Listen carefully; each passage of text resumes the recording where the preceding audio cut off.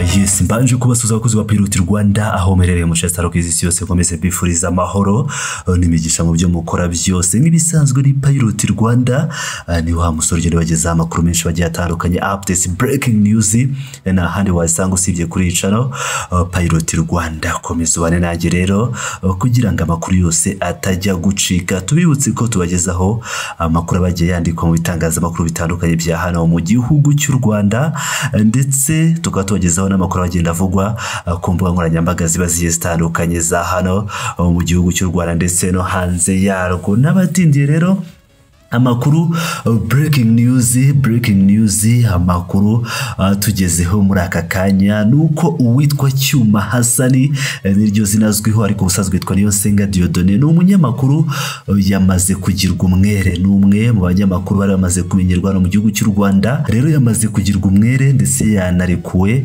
Niyo makuru ngiye kubagezaho ku buryo burambuye. Kuri uyu wa gatanu tariki ya cumi na kabiri werurwe bibiri na makumyabiri na rimwe urukiko rwisumbuye rwa gasabo rwagize umwere. Umunyamakuru niyo nsenga diodone uzwi nka cyuma hasani rutegeka ko ahita afungurwa ako kanya. Uyu munyamakuru yaregwaga ibyaha birimo inyandiko mpimbano no kutubahiriza amabwiriza ya covid cumi n'icyenda. Niyo nsenga diodone aka cyuma hasani yakunze kugaragara akora inkuru zivuganira abaturage bafite ibibazo bitandukanye ataretse no kurenga abayobozi batuzuza inshingano zabo uko bikwiye. Akaba yaratawe muri yombi tariki ya cumi na gatanu mata umwaka w'ibihumbi bibiri na makumyabiri.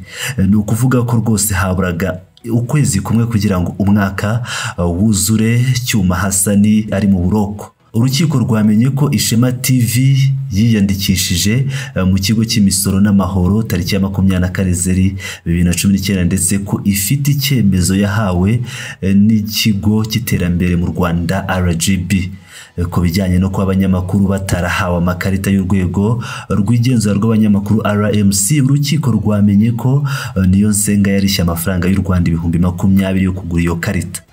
Ku cyaha cyo kwiyitirira imirimo badakora. Urukiko rwasanze ibyavuzwe na niyo nsenga ko rms atariyo yohereza umunyamakuru mu kazi bityo ko ishema yari ifite uburenganzira bwo guha abakozi bayo amakarita. Cyane cyane ko bikoresha bafatanywe byagaragaje ko bari mu kazi hagendewe ku nkuru bakoze y'umuturage wari umaze imyaka irindwi aba mu mwobo. Umunyamakuru wa ireme news ntwari john williams avuga ko atavuga ko niyo nsenga yagizwe umwere aho yari ari.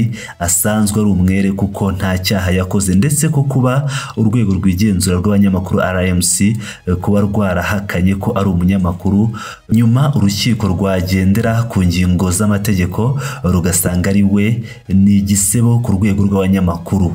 Ati rufite byinshi rukora byiza ariko iyo bigeze mu kurenganura abanyamakuru abanyamakuru bari mu kaga rurabitaza. Iyo ni inenge bagomba gukosora ngo kuba urukiko rugaragaje ko niyo nsenga ari umwere n'icyubahiro n'ibyo kwishimira. Ngira ngo murabyumva ko ari amakuru meza ku banyarwanda. Bakundaga cyuma hasani ku ishema tv rwose. Hariho benshi bamukundaga bavuga ko abavuganira ndetse rwose akaba yamaze kugirwa umwere akaba agarutse akaba agiye gukomeza kujya bagezaho amakuru yose gatanu kuri gatanu ndetse n'ibiganiro yari asanzwe agezaho abamukurikira nk'ibisanzwe ku ishema tv mukomeze rero mujye mukurikirana ku ishema tv ni pilot rwanda nk'ibisanzwe.